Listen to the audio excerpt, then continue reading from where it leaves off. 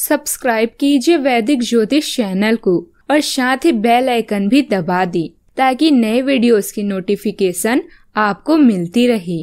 जय संतोषी माँ। दोस्तों, स्वागत है आपका वैदिक ज्योतिष में। जानते हैं आज क्या कहती है आपकी राशियाँ। कैसा रहेगा आपका दिन? शुरुआत करते हैं आज के सुविचार से। सोच को अपने ले आओ शिखर तक, कि उसके आगे सारे सितारे झुक जाएँ। ना बनाओ अपने सफ़र को किसी कश्ती का मोहताज।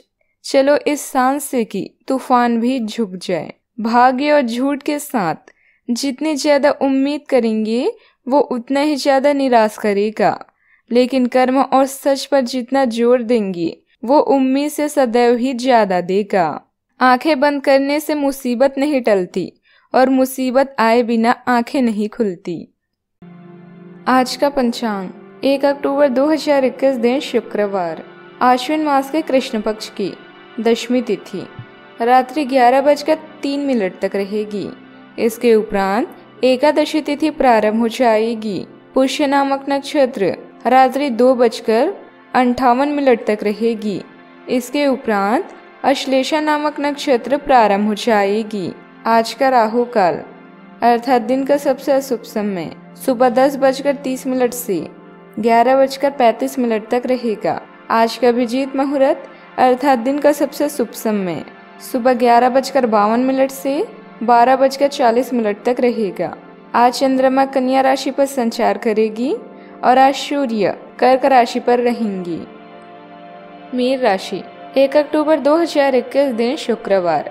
आपकी प्रकृति उत्सुक है और अद्भुतनीय है और आप किसी भी प्रकार का नियंत्रण पसंद नहीं करते। आपको ऐसा करने की ज़रूरत भी नहीं है। इसके स्थान पर खुशी और प्यार दे और आपको भी बदले में खूब खुशी और प्यार मिलेगा। अपने काम की मारा मारी वाली ज़िंदगी में अपने सहकर्मियों के साथ किसी छोटी सी यात्रा पर जाकर रंग भर सकते हैं। रिश्तेदारों और पड़ोसियों के साथ संबंध अच्छे बने रहेंगे। कोई ईश्वरी शक्ति का आशीर्वाद आपको प्राप्त हो रहा है। आपकी कार्य कुशलता व दक्षता की सराहना होगी। रचनात्मक कार्यों में भी समय बीतेगा। अपनी मर्ज़ी के अनुसार व्यवहार करने की वजह से दूसरों को आपकी चिंता हो सकती है, लेकिन आप खुद का नुकसान नहीं होने देंगे। आपके व्यक्तित्व से प्रभावित होकर कुछ लोग आपसे जुड़े रहना चाहेंगे। जुड़े रहना चाहेंगे। रिस्क लेने की वजह से बड़ा फ़ायदा प्राप्त होगा। पैसों से संबंधित रिस्क लेते समय अपनी क्षमता के अनुसार ही आगे बढ़ें। पार्टनर आपसे पूरी तरह से प्रभावित हैं, लेकिन आपको सोच समझकर बात करनी होगी। सर्दी खांसी की वजह से सेहत में बदलाव नज़र आएगा। सावधानियाँ। घर के किसी सदस्य के वैवाहिक जीवन को लेकर कुछ परेशानी उत्पन्न हो सकती है, जिसकी वजह से परिवार में कुछ तनाव रहेगा। नकारात्मक वातावरण की वजह से अभी इनकम के साधनों में सुधार की उम्मीद नहीं है। बात करते हैं लव लाइफ की। आपकी व्यवस्था की वजह से जीवन साथी का परिवार की देखभाल के प्रति पूरा सहयोग रहेगा। प्रेम संबंध में अपनी हद में रहेंगी। अपने क्रोध पर नियंत्रण रखें, आप अपने किसी करीबी पर इसे उतार सकते हैं। आपका साथी इस आवेग से परेशान और व्यथिर हो सकता है। अपने साथी को समझाएँ कि ये आवेग अतीत की कुछ भावनाओं के कारण था, जो अनसुलझी लग रही थी। अपने कपड़ों के कुछ हिस्सों में नीला रंग पहने, अपनी भावनाओं को नियंत्रित करने की कोशिश करें। और अगर वे अनियंत्रित रहे तो उसकी तीव्रता को कम करने की भी कोशिश करें। बात करते हैं करियर की। आप समय के महत्व को जानते हैं और आप आज एक लक्ष्य को पूरा करने की दिशा में काम करेंगे। आप सही रास्ते पर हैं। कड़ी मेहनत करें, सफलता आपसे दूर नहीं है। आपकी वित्तीय स्थिति स्थिर है और इसलिए आप व्यवहार और शेयरों में कुछ जोखिम ले सकते हैं। आय के नए अवसर आज दिखाई दे सकते हैं।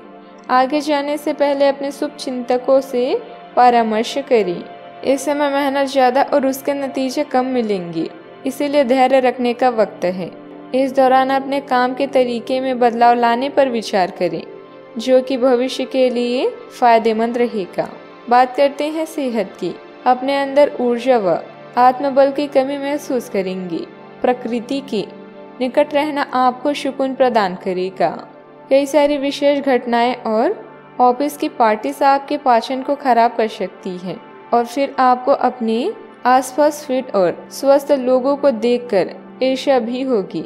अपने अंदर नकारात्मकता न आने दें। खुद को यह विश्वास दिलाएँ कि आप खुद भी नियमित वर्कआउट करके ऐसे ही सेहत हासिल कर सकते हैं।